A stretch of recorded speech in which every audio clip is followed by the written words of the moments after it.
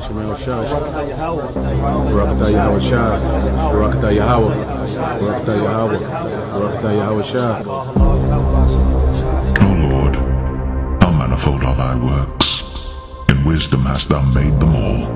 The earth is full of thy riches. So is this great and wide sea, wherein are things creeping innumerable, both small and great beasts. There go the ships. There is that Leviathan whom thou hast made to play therein. These wait all upon thee, that thou mayest give them their meat in due season, that thou givest them their gather. Thou openest thine hand, they are filled with good.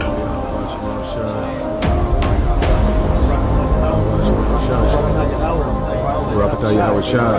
Barakatah Yahweh. Barakatah Yahweh. Yahweh Shah. Job 41. Canst thou draw out Leviathan with an hook, or his tongue with the cord which thou lettest down? Canst thou put an hook into his nose, or bore his jaw through with a thorn? Will he make many supplications unto thee? Will he speak soft words unto thee? Will he make a covenant with thee? Wilt thou take him for a servant forever? Wilt thou play with him as with a bird? Thou bind him for thy maidens? Shall the companions make a banquet of him? Shall they part him among the merchants? Canst thou fill his skin with barbed irons, or his head with fish spears? Lay thine hand upon him. Remember the battle. Do no more. Behold, the hope of him is in vain. Shall not one be cast down even at the sight of him? None is so fierce that dare stir him up. Is able to stand before me? Who hath prevented me that I should repay him? Whatsoever is under the whole heaven is mine. I will not conceal his parts, nor his power, nor his comely proportion. Who can discover the face of his garment? Or who can come to him with his double bridle? Who can open the doors of his face? His teeth are terrible round about. His scales are his pride, shut up together as with a close seal. Is so near to another that no air can come between them. They are joined one to another. They stick together, but they cannot be sundered. By his sneezings a light doth shine, and his eyes are like the eyelids of the morning. Out of his mouth go burning lamps, and sparks of fire leap out. Out of his nostrils goeth smoke, as out of a seething pot or cauldron. His breath kindleth coals, and a flame goeth out of his mouth. In his neck remaineth strength, and sorrow is turned into joy before him.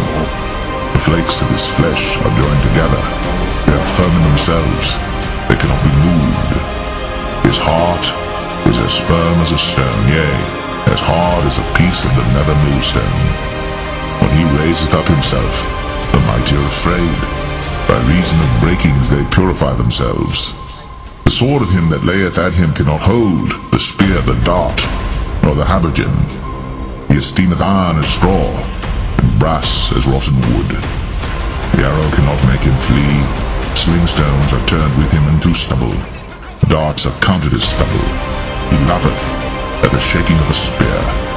Sharp stones are under him. He spreadeth sharp pointed things upon the mire. He maketh the deep to boil like a pot. Maketh the sea like a pot of ointment. He maketh a path to shine after him. One would think the deep to be hoary. Upon earth there is not his like, who is made without fear. He beholdeth all high things. He is a king over all the children of pride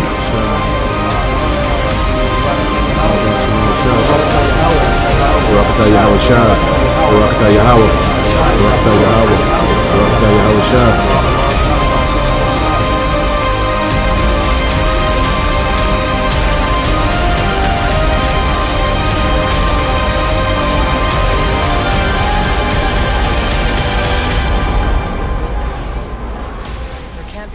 Alpha